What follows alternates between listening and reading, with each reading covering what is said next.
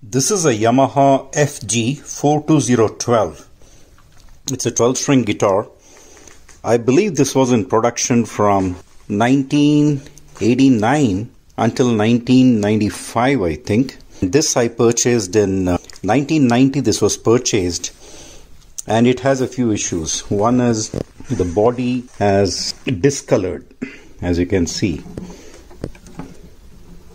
it has discolored but that is not my main problem. It sounds well but the action is very high. It's actually at the 12th fret 3.1 millimeters. You know this level is okay. I checked with a straight rule. The relief and everything seems okay so there's no point in adjusting the truss rod. And even the saddle is not really very high so there's no point in adjusting the saddle or the nut. And uh, the action at the first fret is just about 0.5 millimeters so I don't want to touch the nut either. So the only thing I can think of is there's a bulge here. I don't know whether it is noticeable. I'll just show it to you with a straight rule a steel ruler behind the bridge.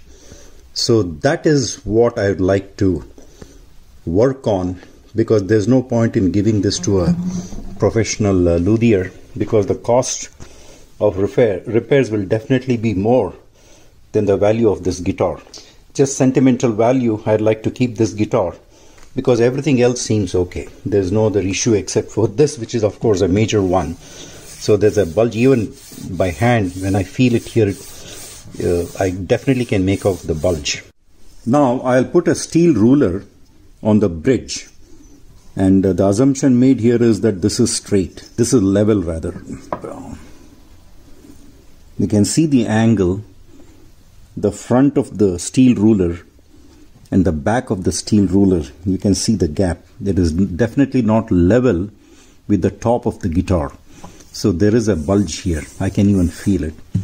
So the idea is we can uh, purchase uh, i can purchase a bridge doctor but that's uh, 45 US dollars. But it is a very simple device, but uh, I believe it's an effective device. So I'm actually thinking of making my own bridge doctor and then inserting it. Of course, I have a Fishman pickup here long back I had purchased. I'm going to remove that and see if I can, you know, level the shift this a little bit. But before that, I'm going to remove. I had converted this to a six string guitar because I was not using 12 strings. But despite converting it to six string, it's been over what 30 years. So because of which this has happened, it has traveled with me all over to many uh, countries actually. Then thought of uh, keeping some weight on this and then leaving it for about one or two weeks until which time I can prepare the uh, bridge doctor at home. I'll uh, make my own. It's a simple thing. The guitar is now on a makeshift workbench. I just kept something under the neck to support. Otherwise, this is sitting flat on the work table. This is just a sound hole blocking cover and inside the sound hole I have a wet rag which is sitting on a plastic sheet so that the water doesn't drip into the wood. Uh, that cloth was completely soaked in water and finally wrung to get the last drop out of it and then now it is sitting inside just beneath the bridge. And now I have here altogether 12 and a half pounds of weight. The belly bulge is just behind the bridge. This is now 13 hours into this operation. I'll make it up to 20 pounds. I have a low temperature heating pad. I'm going to place that first and on top of the, the weight and then see how it goes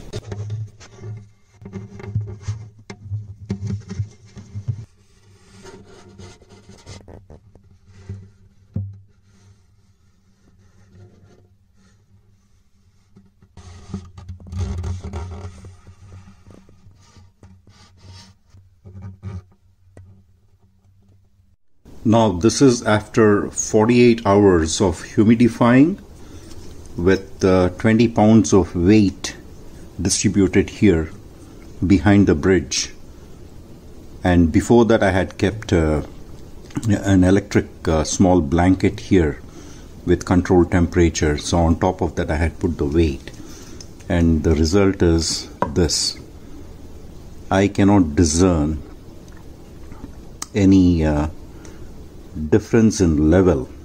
Even if there is, I think it is negligible compared to what it was in the past. It was almost like that. So now it is straight.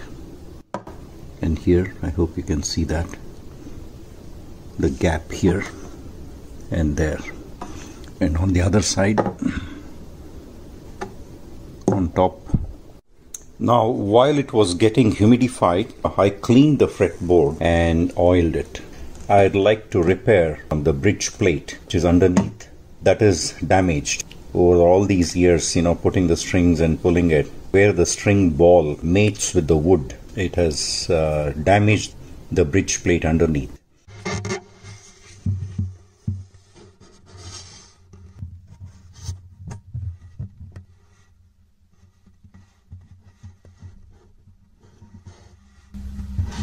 This is the stock brass sheet I intend using for the bridge plate. The idea was to use a 0.035 inch, about uh, 0.8 millimeters, but I could not get that. That was not in stock, although I have ordered it, but I just wanted to give it a try, which is this is half of that, it is only 0.016. Now, from the stock brass sheet, I cut off what is required. First, I made a template on paper with all the actual measurements.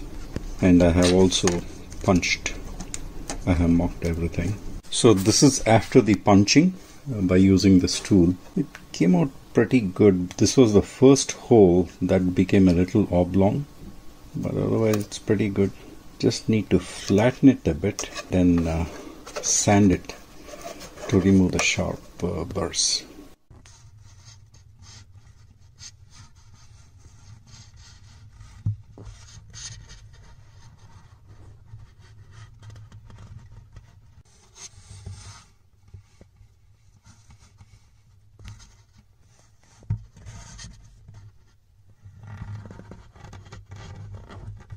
Now here is the finished product bridge plate support. So now I'll have I'll put a double-sided uh, sticky tape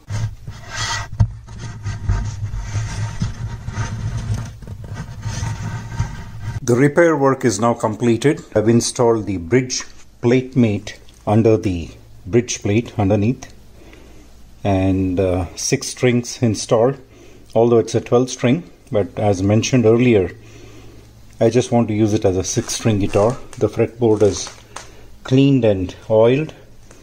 And I'm just using uh, the three keys here and the three keys here. Under the circumstance this is the best I could achieve. I don't know whether you can notice there is still an angle but there is definitely an improvement and the bulge has gone. And on the 12th fret this is the action I get. It's just a little over 2.5 millimeters on the 12th fret. This is the 12th fret. Uh, probably around 2.6 because the next measurement here is 2.75. It is below 2.75 and just a hair, maybe a little more than a hair, above about 2.5 millimeters. When I started this work, the action on the 12th fret was more than 4 millimeters. Now, Using an endoscope camera, I'm inspecting to see if my homemade bridge plate mate is still holding good.